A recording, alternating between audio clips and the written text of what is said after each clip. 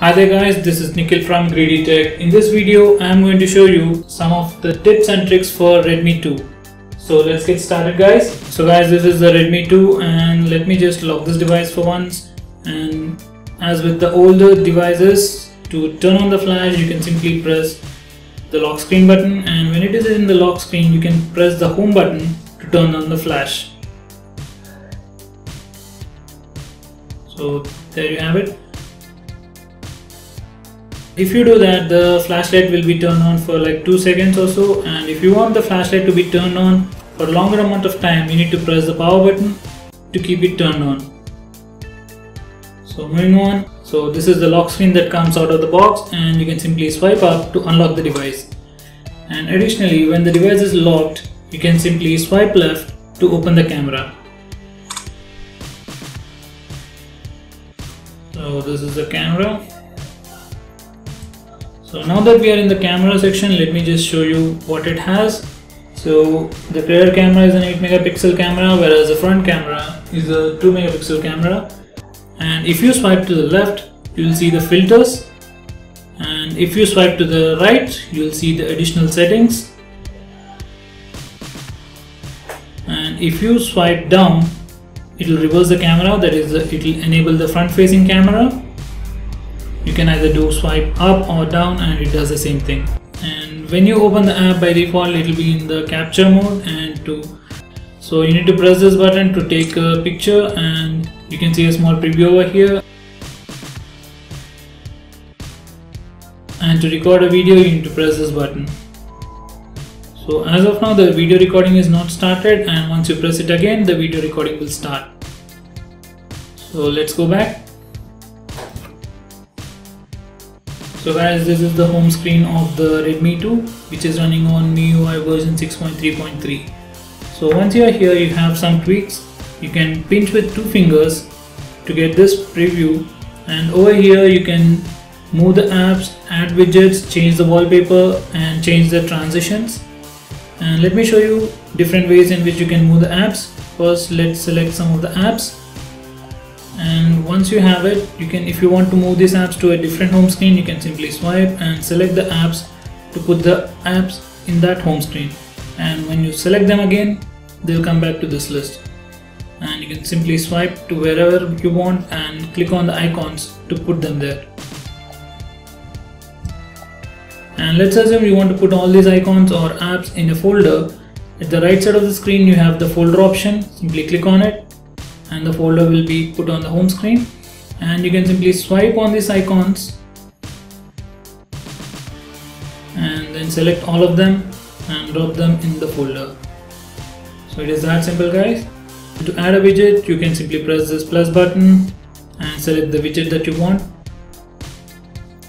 and drop it on the home screen. And changing the wallpaper is very simple. You can simply select the wallpaper to change it or else you can go to the browser and change it manually. So additionally, if you swipe, additionally if you pinch with three fingers, you get this view where you can select the default home screen. So let's go back.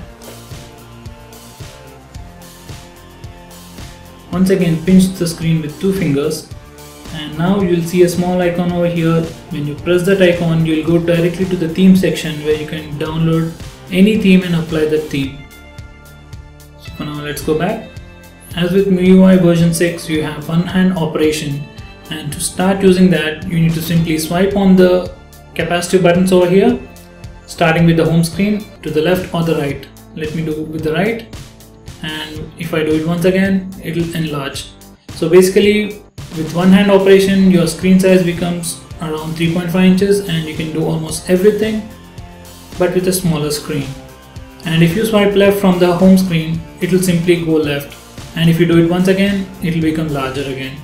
So that is one hand operation on Redmi 2.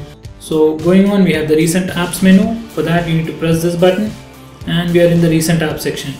We need over here, we can pinch in or pinch out to change the effect or to change the view again if we pinch in the icon will become smaller and if we pinch out we'll get a small preview of what's going on in the app. And if you press this button it will simply close the, all the apps that are currently running. Let me just open up few apps. And now press the recent apps button. So over here I can simply swipe it down to lock it so that whenever I press this cross button it won't clear that particular app. And if I swipe it down again it will unlock it and optionally if I swipe it up it will be removed. And if I press and hold this cross button I will directly go to the app manager into the running section. So that's pretty much it about the recent app section. Next let's go into the security section. So this is the security section. And starting off we can clear off some unwanted files second is the data usage. We can set a limit or we can just check how much data we are using. And third is the block list where in which we can either block SMS or calls. And the fourth is the battery. Here we can check out the battery status. We can define battery profiles. And we can schedule change of battery profiles. That is let's assume that in daytime you want high performance mode whereas in nighttime you want to change the CPU performance to balanced and turn off Wi-Fi and Bluetooth automatically then you can do all of that over here in the schedule profile switch. Then we have virus scan which I don't use a lot but it is really good to have it inside the box. Next we have permissions which is very interesting and which is found usually on all the MIUI devices. So let's check it out. So in this section we have both auto start and permissions. If we go to auto start it will simply list the list of apps that will start when your device is turned on so by default as you can see there are no apps that are installed or that are running out of the box so to enable any app to run at start, simply select the app or simply select this toggle and it will be allowed to run when your device turns on. And next we have permissions. Over here we can see which app is asking for which permission or else we can simply go to the permission and see what are the apps that are using that permission. Let's go to calls and contacts and see what are the apps that are reading our contacts. So these are all the list of apps that are reading our contacts. As of now they are not allowed it. And when you open one of these apps you will be asked if you should allow the app to read your contacts or not. So it is very similar to the privacy guard in CyanogenMod but you can assume that it is the MIUI version of that. So let's go back. So guys that's pretty much about the security. Now let's go to the notification bar. When you swipe down you have two panels over here. So the left one and the right one. So the left one is where you'll get all your notifications and the right one is where you have all your toggles. So let's start from the top. You have the silent or the profile mode. And next you have the rotation lock. And third you have the lock screen fourth is bluetooth. Fifth is data. All these things you know already. But let's start with DND which is the do not disturb service. And whenever you enable it it will block all the calls that you are receiving. So let me just show you some of the settings. Over here you can enable do not disturb mode and you can set timing for that or else you can choose to block all the calls or you can add exceptions for that. So let's go back and let's see some other settings so over here you have the auto brightness and next we have the torch airplane and over here we have the screenshot option. When you press on it it will take a screenshot of the screen. And if you go to the notification you will see a small screenshot notification over here. And if you swipe with the two fingers you have an additional option to share the screenshot. And additionally if you don't want to go to all the way to the notification bar to take the screenshot you can simply press volume down and power button both at the same time to take the screenshot. So if we go to the notification bar we can again see the screenshot. So anyway let's go on ahead. So the next important thing is access. So if you simply turn it on it will ask you to draw a pattern. Let me confirm that. So now you have access enabled. So with access what you can do is you can block others from accessing any apps so you can consider this as an app locker which comes inbuilt so one advantage of it being inbuilt is that it won't really take away much of your RAM and it will be robust. So that's pretty much it. The next thing that we have over here is guest mode. So this is the guest mode. Whenever you turn it on, the person who is using the phone won't have access to your personal files so that is one advantage with that. Next is disabling the capacitive touch buttons. If you enable this option the capacitive touch buttons will not work from now apart from the one hand operation. So to enable them you need to press the home button and the power button both at the same time. And now you can use the capacitive buttons normally.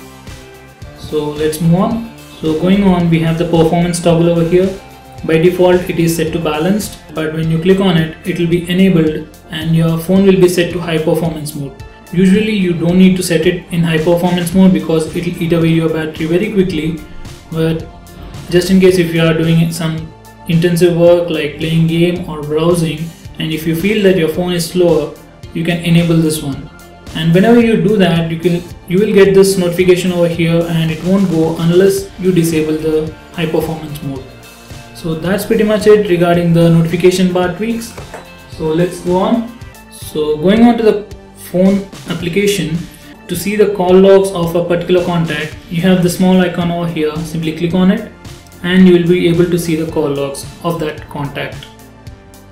And to scan the QR codes you have two applications. One is the scanner application which is this one and you need to put the QR code in between this box and it will scan the QR code. Or else you can simply use the default camera app to scan a QR code. So now let's go into settings. And over here you have the notification panel or notification settings. Over here we can manage different notifications. That is if you want to block the notifications of any particular app here is where you want to go. And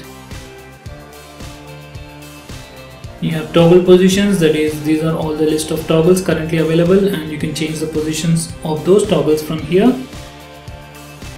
And additionally you have this show notification icons on the status bar or else show connection speed. Let me enable this and you will be able to see the network usage on the status bar.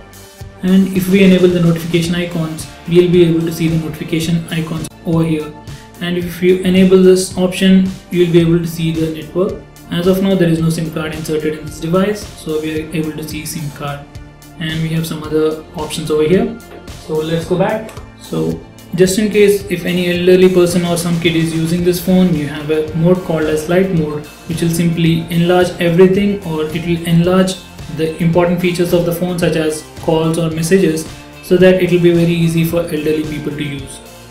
So going on if we go to about as we already know we can click on the MIUI version 7 times to enable the developer options. And we can click on internal memory to enable or to go to testing phase where we can get all the phone information. And we can press on the kernel version to go to testing again. Let me just show you a small test. Let me enable the torch. Let's click open and as you can see the flash is on. And when I press close turned off.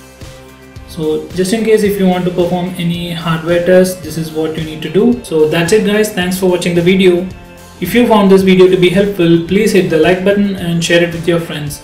And if you have any queries about this device or any other device do let me know by commenting below this video. And please subscribe to my channel to see more videos just like this